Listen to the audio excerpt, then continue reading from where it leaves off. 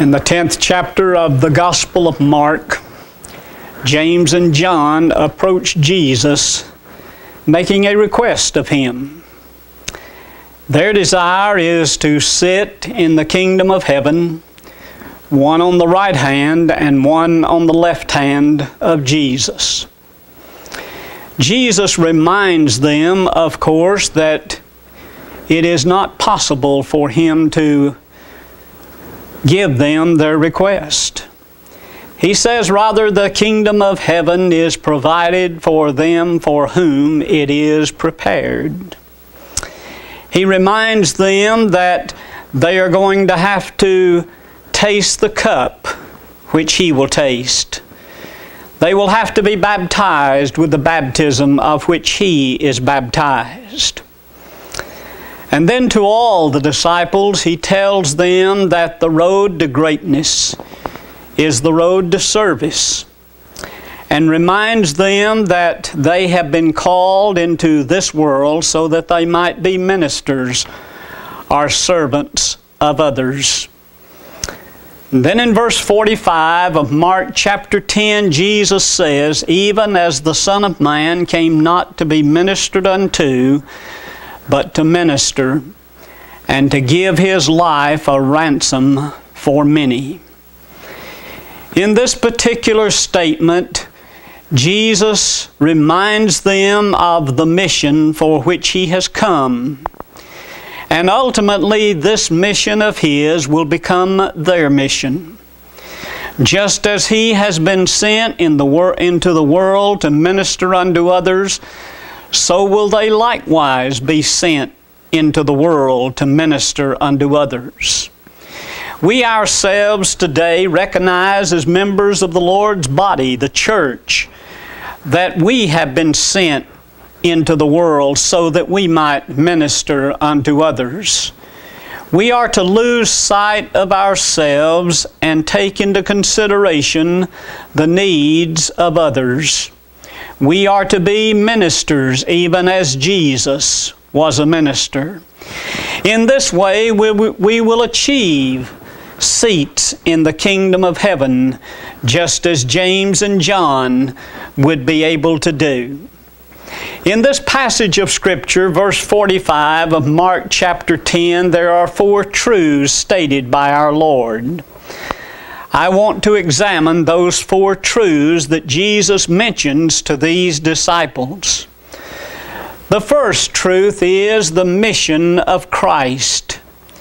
He says, The Son of Man came not into the world to be ministered unto, but to minister.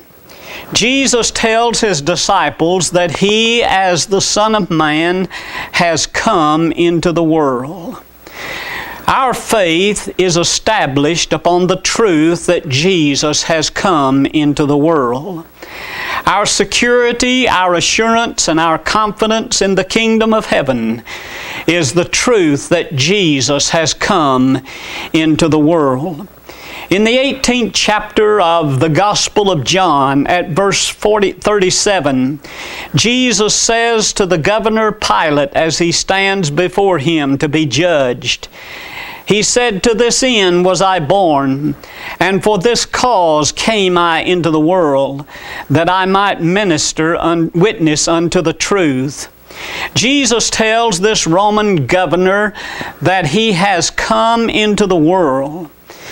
He has been born so that he might bear witness unto the truth. Jesus came into the world so that He might reveal unto us the truth of God. This truth today is stated in His book, the Bible. When we open the pages of the Bible, we can read the words of Jesus, and thereby we can come to know the truth of God.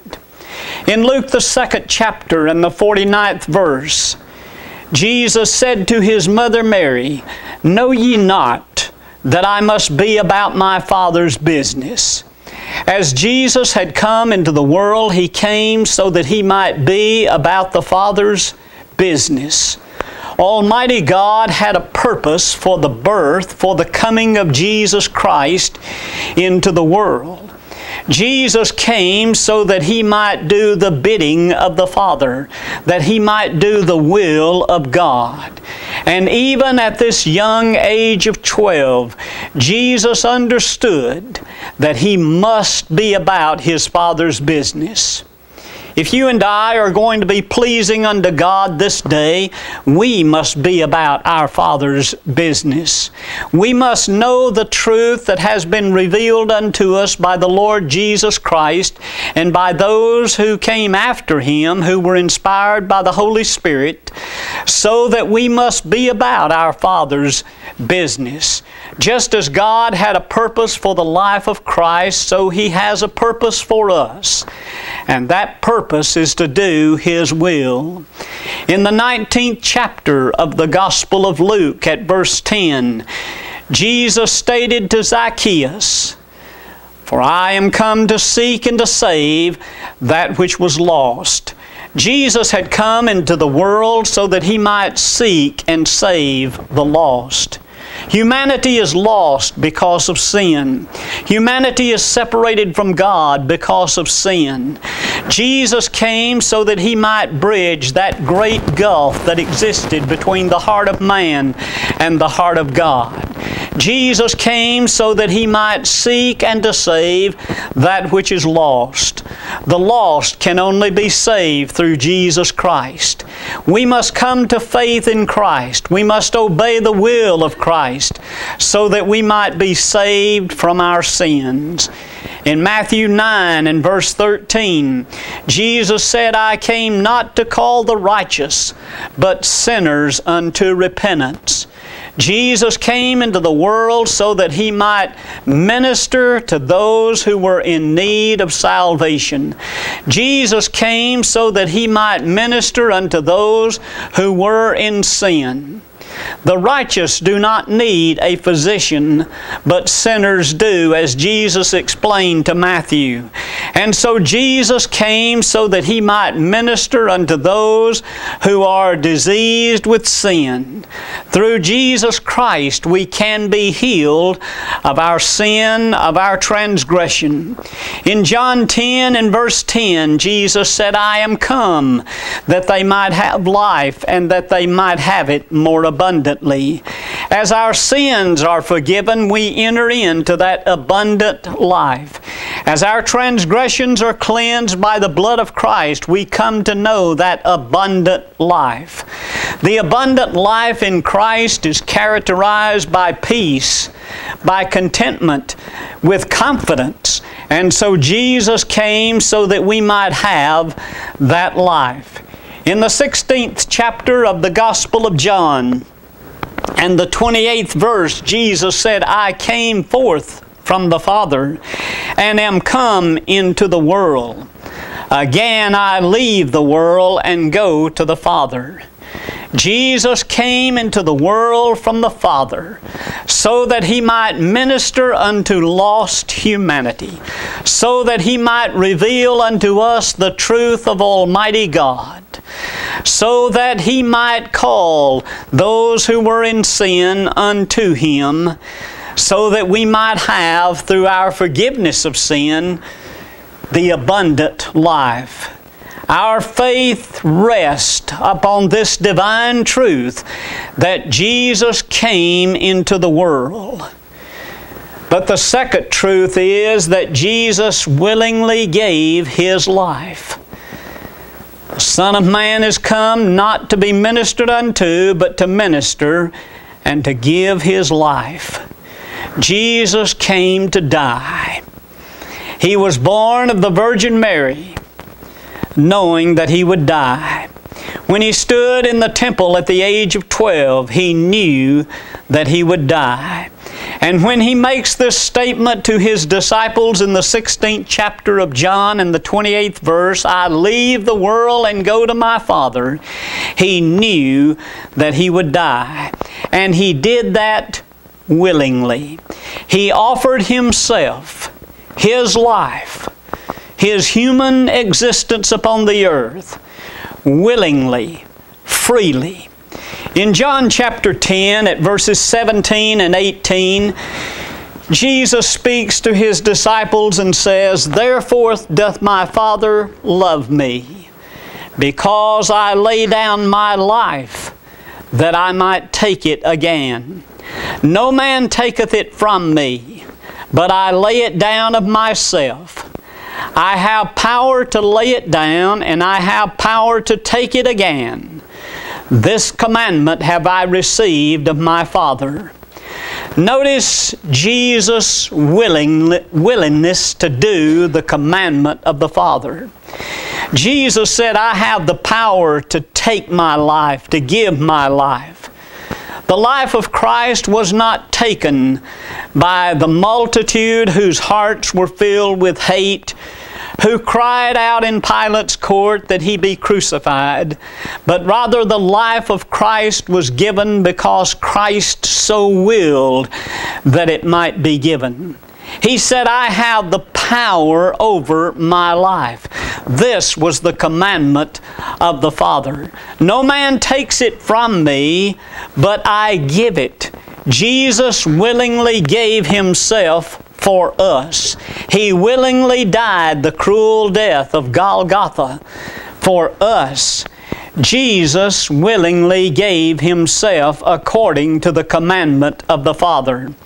In Isaiah the 53rd chapter, which sometimes we refer to as the chapter of the suffering Messiah, here in this particular chapter, spoken by Isaiah some 700 years before the coming of Christ, Jesus is shown to be the suffering Savior. In verse 4 and 5, the Scripture says, Surely He hath borne our griefs and carried our sorrows. Yet we did esteem Him stricken, smitten of God, and afflicted. But he was wounded for our transgressions, he was bruised for our iniquities. The chastisement of our peace was upon him, and with his stripes we are healed. In these verses of Scripture, in this particular chapter, we see the offering of the life of Jesus Christ we see that He was willing to bear our griefs and our sorrows. For us, He was stricken, afflicted of God, and smitten. He was wounded for our transgressions. He was bruised for our iniquities. The chastisement of our peace was upon Him, and by His stripes we are healed. Christ accomplished nothing for himself in willingly dying, but rather his will to die was for us, for lost humanity. Jesus willingly gave himself so that humanity might live, so that humanity might know God, so that humanity might be reconciled unto the Father and be at peace with the Almighty Creator. Jesus willingly offered Himself for us. What a sacrifice! What a commitment that Jesus was willing to make. In Matthew, the 26th chapter, at verses 53 and 54, this multitude comes to take Jesus. They desire to kill him. They do not like his teaching. They do not appreciate his life. All that he had done for them were acts of kindness, and they did not have any desire to give him any thanks, any honor, but rather they come to take him.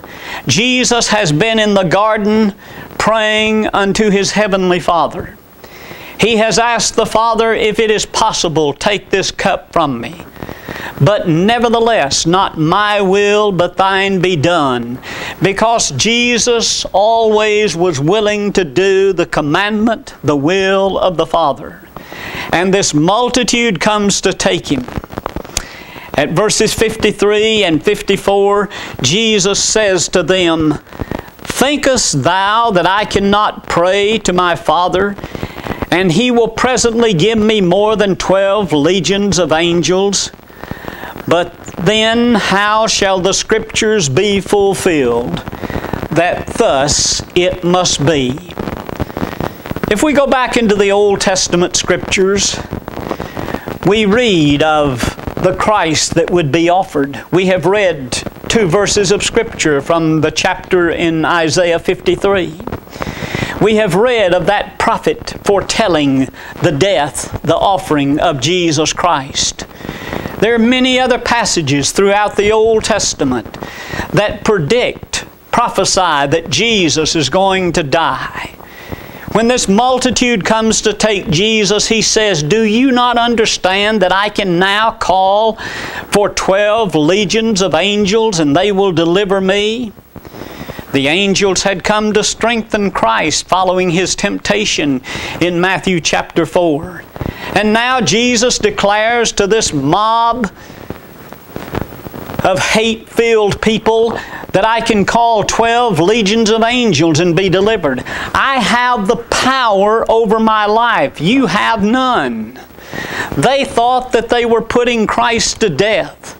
They believed that the consent of Pilate was their will and their consent. But this was God's work. This was the plan of the Almighty.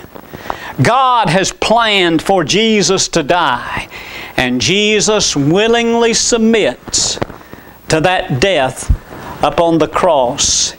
In the book of Philippians, at chapter 2, verses 6 and 7, the Apostle Paul writes by the inspiration of the Holy Spirit and says, Who being in the form of God thought it not robbery to be equal with God, but made himself of no reputation, took upon himself the form of a servant, and was made in the likeness of men.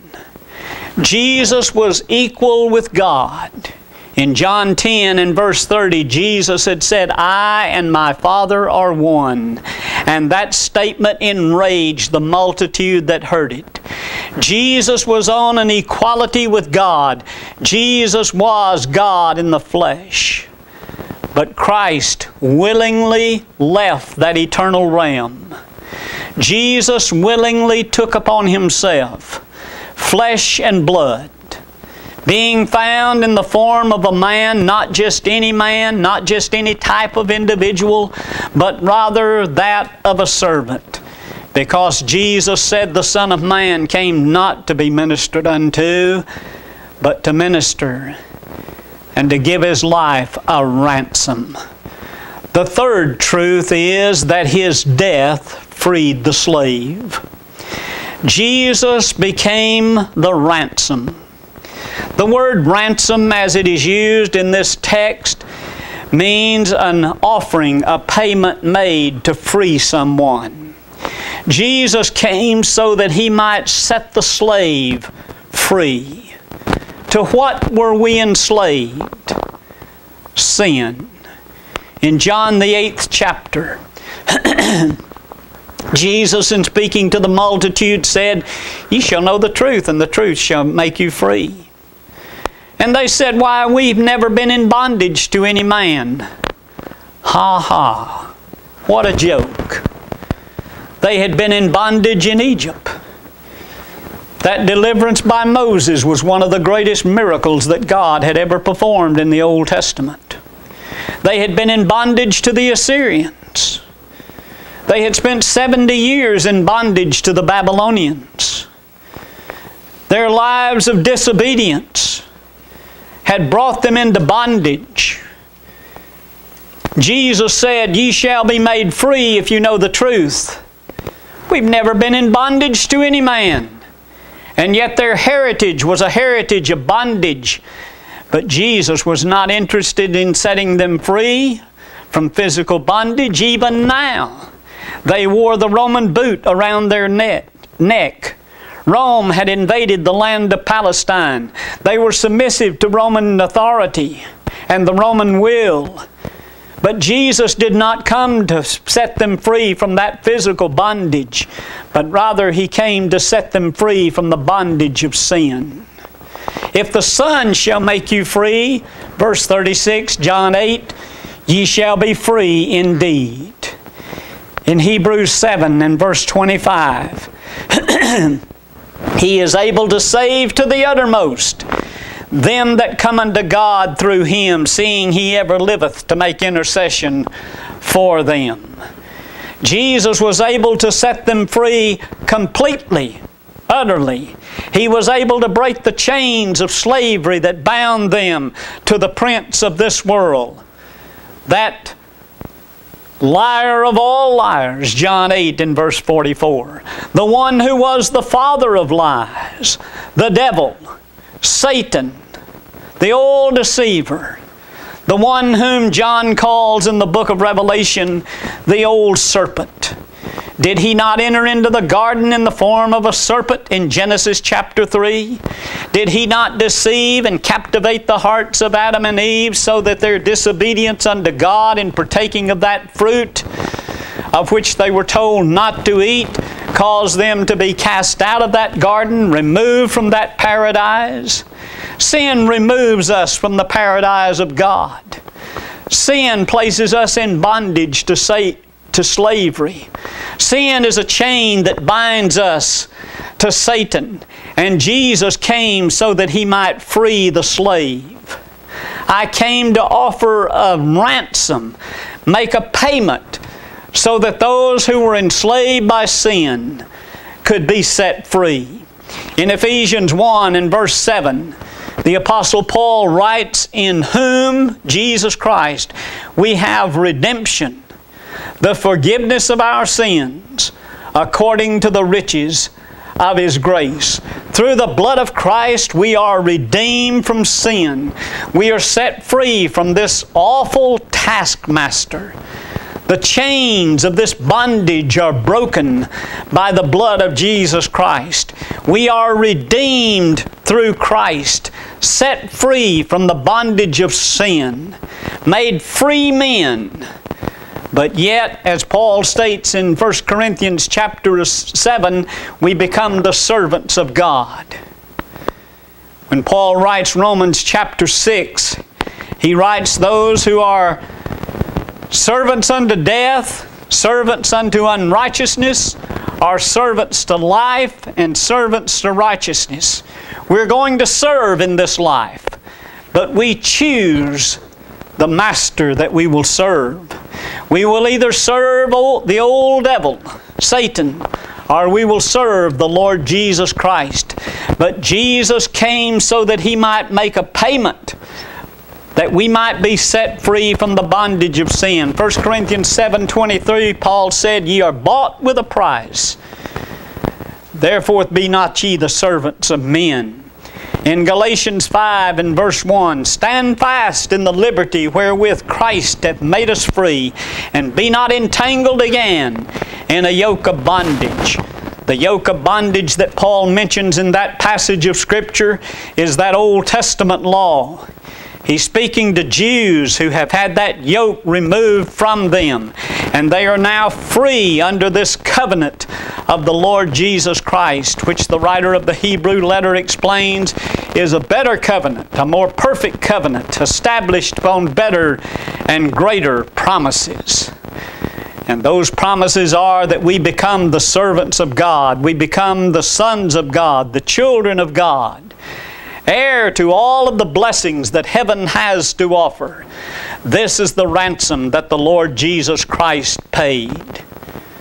And then the fourth truth is the death was for many.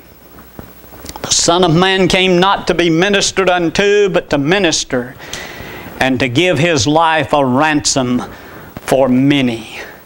The word many in this passage of Scripture means the whole of humanity every son and daughter that would be born from Adam's race, every child that would live upon this mundane sphere, planet Earth. Jesus came to set all people free from the bondage of sin. He came to minister unto all people.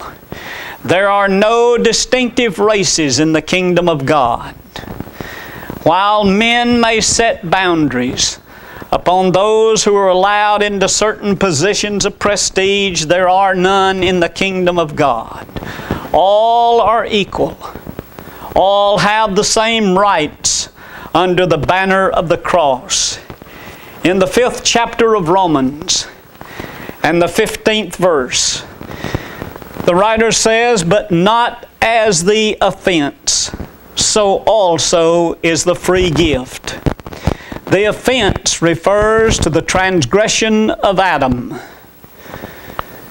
The free gift refers to that grace that has been provided through the Lord Jesus Christ. For if through the offense of one many be dead, from Adam came the severe penalty of sin, death. The wages of sin is death. Romans 6 and verse 23.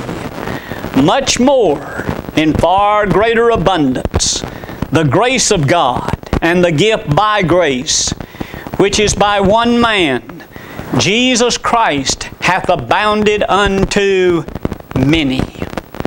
The whole of humanity was covered by the sacred blood of Jesus Christ, so that all from every race, from every culture, from every language, who were in bondage to sin, could be redeemed and set free by the blood of Jesus the Christ. In Isaiah the 53rd chapter, at verse 6, the Old Testament prophet said, All we like sheep have gone astray. We have turned every one to his own way, and the Lord hath laid on him the iniquity of us all. And verse 12 Therefore will I divide him a portion with the great. He shall divide the spoil with the strong, because he hath poured out his soul unto death. He was numbered with the transgressors, and he bare the sin of many, and made intercession for the transgressions. Jesus Christ has died for the many so that we might be redeemed. In Hebrews chapter 2 and verse 9. But we see Jesus, who was made a little lower than the angels for the suffering of death, crowned with glory and honor, that he, by the grace of God, should taste death for every man and as Hebrews 11 and verse 12 says, in fulfillment of that ancient promise made to Abraham, that redemption shall be even as the stars in multitude and the sand by the sea, which is innumerable. Jesus Christ states to James and John unto his disciples his divine mission of coming into the world. He came from heaven, willingly gave His life, offering Himself as a ransom so that the blessing could come unto many. We thank God for this unspeakable gift that has come to us.